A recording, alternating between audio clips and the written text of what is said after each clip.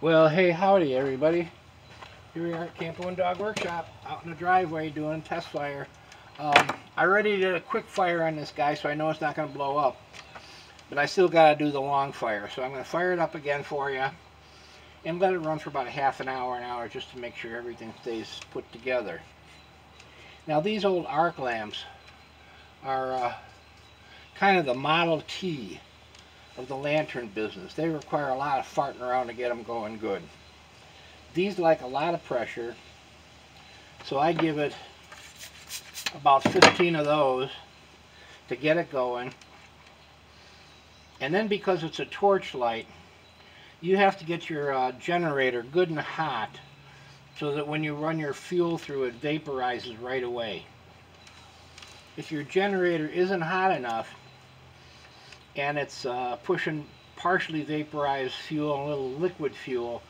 This thing is really dramatic. You're going to nice big bright flames like a campfire and smoke and flame shooting out of the top and that's not what you want to do. Um, but it'll probably happen the first time you try it. So, however you want to heat your generator, you know, they got those barbecue lighters that'll reach up in there and all kinds of different ways.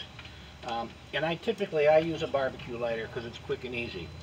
But for my dramatic videos, I like to go old school. So I, I make up these little torches and I use uh, denatured alcohol.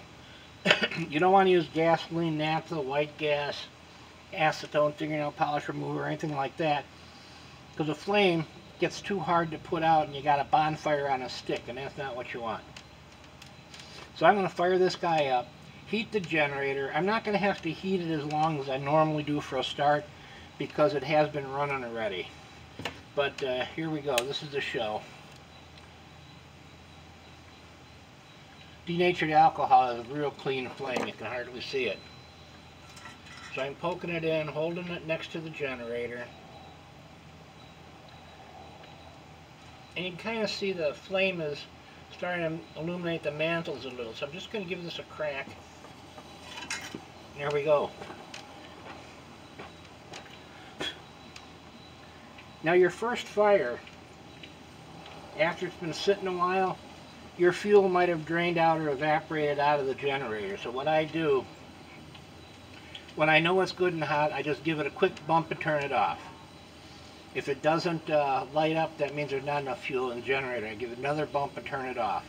And I keep doing that until I get a, you know, mantles light up. And then I just crank this baby up as much as it'll go. Um, I don't know how good the audio is on this, but if it was closer, you could hear this guy roar, and they do. They are, they make a great noise. I love them.